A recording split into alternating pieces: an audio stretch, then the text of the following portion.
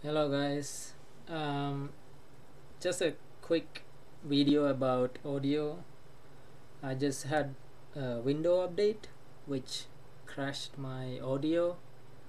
Um, I was just looking around what to do. Everybody just gave me weird weird ideas. So solutions I have found is very minimal uh, but eventually after playing around a bit. Um, so what happened was day before yesterday there's a one notification came up on the pop-up. I just I was playing games and I just like you know what? This is too much. Disable it. Carry on playing it. And then now I feel feel like like I have made a mistake by pressing the off button. So pretty much guys what you had to do is um, after this window update on uh, day before yesterday um, first kindly just go to your sound and see if uh, your uh, audio is here. Um, make sure you put either disable or disconnected or obviously disconnected will not work. Disable ones on so you can activate it. So for and then check if this one is okay too and make sure it's there. And then press ok after you activated it. And then just go to your setting. Into Windows setting.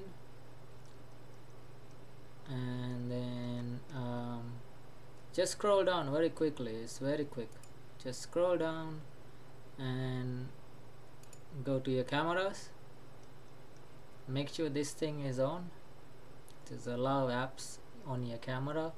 Pretty much just allows you to stream and audio record without any apps in the background interfering with it. So go ahead and unclick all these. Uh, mostly I like to have Skype on uh, because I like to use Skypes time to time. Or I am on with my wife um, and then after you've done that one just kindly go to this one here. Do the same thing. Same thing again. Make sure this is on. This is same again allows you to video record and audio record without any interference in the background. Because you know uh, there's something called in Windows nowadays where you can voice activate the Cortana which you don't want to you might accidentally voice activate for some weird reason. I have done that before while I was streaming. Um, just to let you know this is working or not I'll show you. Um, so if I just click this button here you should not able to hear my voice. One two